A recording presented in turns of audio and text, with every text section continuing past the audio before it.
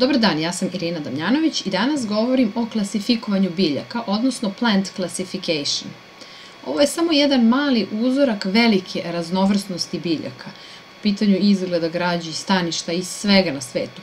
E, postoji čak 320.000 vrsta biljaka koje su naučnici otkrili i opisali. E, da bi ih lakše izučavali, biolozi su ih razvrstali u grupe, odnosno klasifikovali su ih, ali ne samo to. Biolozi kada klasifikuju, oni u stvari e, istražuju srodnost između živih bića, u ovom slučaju biljaka, i u stvari na osnovu te srodnosti, one koji su u bližoj srodničkoj vezi, svrstavaju u iste grupe. I tako su biljke razvrstane u neke četiri veće grupe koje ćemo mi obraditi. E, to su skriveno semenice, odnosno cvetnice, golosemenice, paprati i mahovine. Sigurno sam da svako od vas može da se seti barem jedne, da je nekad u životu video barem jednu od ovih vrsta. I sve one potiču od zajedničkog biljnog prapretka. E sada mi recite da li možete da pogodite kojoj grupi od ove četiri što sam pomenula biljaka pripadaju ove. Znači, evo da vam pomognem, platan, kukurek, kopriva, bukva, trešnja, detelina i suncokret. Ovo je trenutak da napravite pauzu pre nego što dobijete odgovor od mene.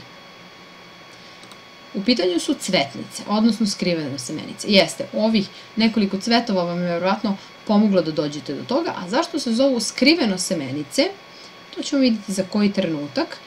Cvetnice su potpuno, ono, onako direktan prevod flowering plants.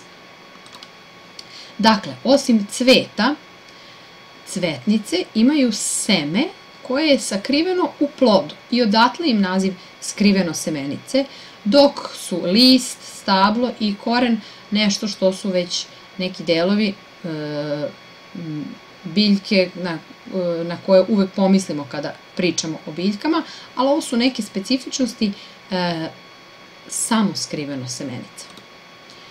Međutim, ni one nisu baš potpuno iste po svim svojim delovima, a svim onima koji nisu pogledali video predavanje o semenu i delovima semena, predlažem da to sada urade, pre nego što nastave dalje, jer stvar će im biti jasnija. Imamo semena sa jednim, sa dva, odnosno sa jednim kotiledonom. Tako, na primer, pasulj, dva kotiledona, odnosno klicina lista, što nije baš najsrećniji naziv, jer to list asocira na listić neki koji vrši fotosintezu, a ne na deo semena u kome se nalaze hranjive materije i ovde ima samo jedan takav, jedan takav e, deo u kome se nalaze hranjive materije.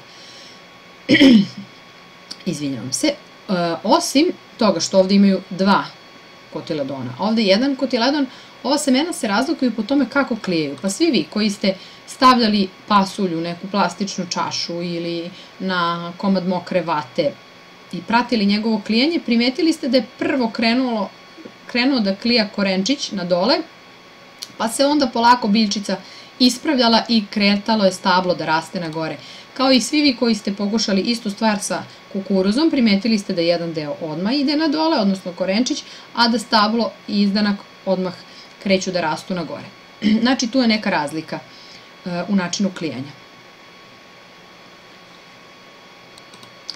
E sada da vidimo stablo, odnosno raspored provodnih snopića, stablo je stem, a mi pričamo ovde o position of vascular bundle. Ovo je još jedno mesto gde možete da napravite pauzu i da razmislite o u čemu je razlika između ova dva stabla, pre nego što vam ja kažem odgovor, znači pauza. Evo čemu se radi. Ovo je presek ovog stabla, ovo je presek ovog stabla. Ovde su provodni snopići, evo ih, raspoređeni u krug, a ovde su razbacani, odnosno nepravilno su raspoređeni po celom stablu. Znači, provodni snopići e, su one sitne cevčice koje provode vodu i rastvorene hranljive materije kroz biljku.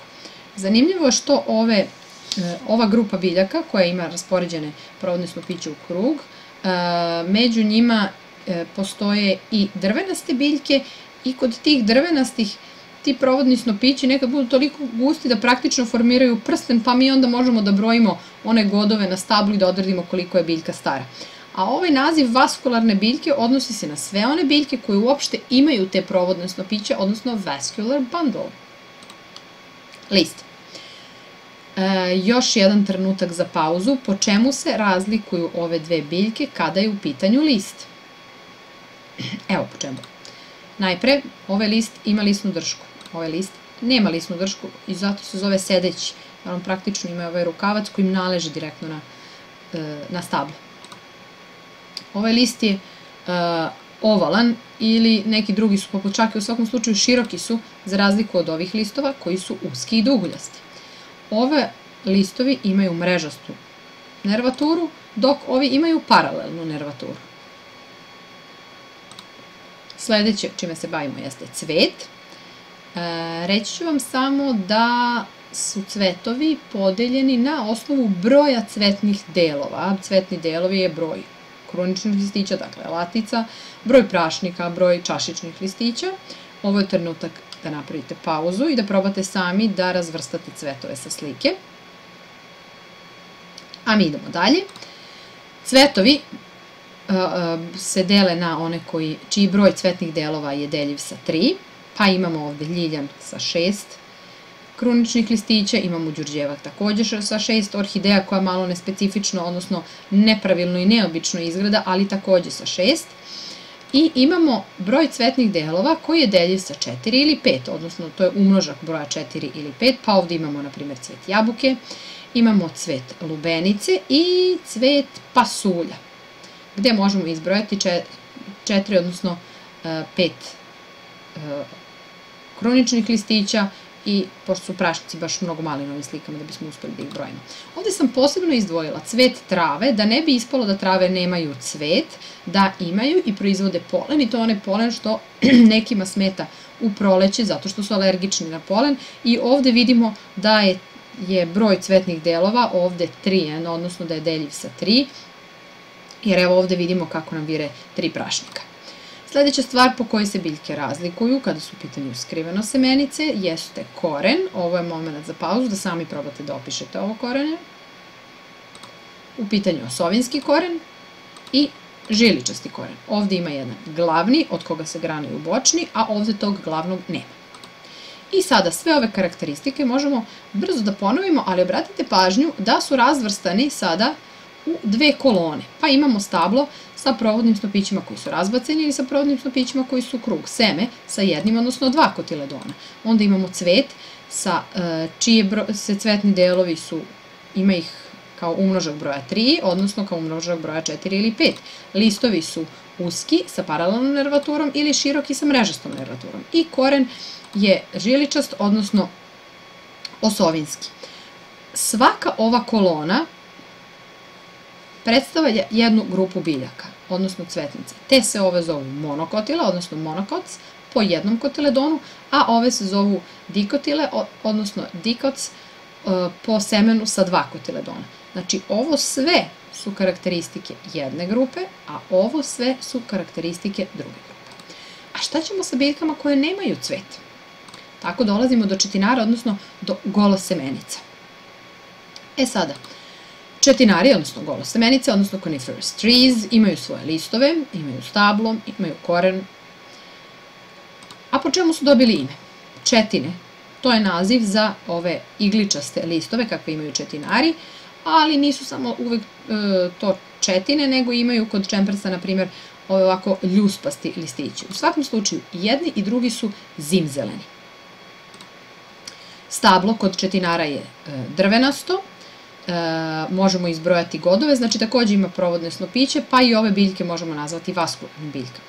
Cvet kod četinara, odnosno kod golosmenica ne postoji, već postoji šišarka po tome i odatle i potiče ovaj engleski naziv coniferous, jer con je šišarka, coniferous u stvari značilo bi nosač šišarke, e, odnosno šišarkari ili šišarkonosci. Evo je muška šišarka, Evo je ženska šišarka. Ako u maju mesecu protresete gran, granu bora sa ovom muškom šišarkom, vi ćete zapljusnuti e, gomilom e, žućkastog praha koji izgleda kao neka prašina, to je zapravo polen bora, koji kada dospe do ženskih šišarki, e, dolazi do oplođenja i formira se seme. Ali sad ćemo vidjeti gde ide to seme. Šišarke ženske su jako male, tako da evo jedna od 6 meseci i evo kako izgleda kada potpuno sazri nakon oprašivanja. Kada je šišarka zrela, ona se potpuno ovako otvori i iz nje ispada nešto. To nešto su ove ljuskice koje imaju seme. Ove ljuskice služe za rasejavanje. Evo ga ovde jedan prikaz modela da biste bolje videli kako je na toj jednoj e, ljuski od šišarke stoje dva semena sa svojim krilcima koje im pomažu u rasejavanju.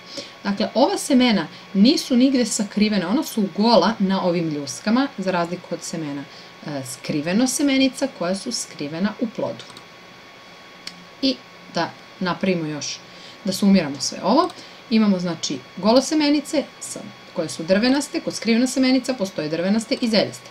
Kod golosemenica postoje, e, listovi su četine, kod skriveno semenica listovi su ono na što se najčešće misli kada se kaže list. Za razmnožavanje kod golosemenice imamo šišarke, kod skriveno semenica imamo cvet. Semena su gola, nasuprot skrivenih semena koja se nalaze u plodovima. I da se vratimo na podeli sa početka. Dakle, ono što smo sada uradili jesu skriveno semenice i golo semenice. To je prvi deo klasifikacije biljaka. U narednom predavanju predstoje nam mahovine, odnosno paprati i mahovine. I to je znači kraj prvog dela klasifikacije biljaka i nadam se da će vam ovo predavanje biti od koristi.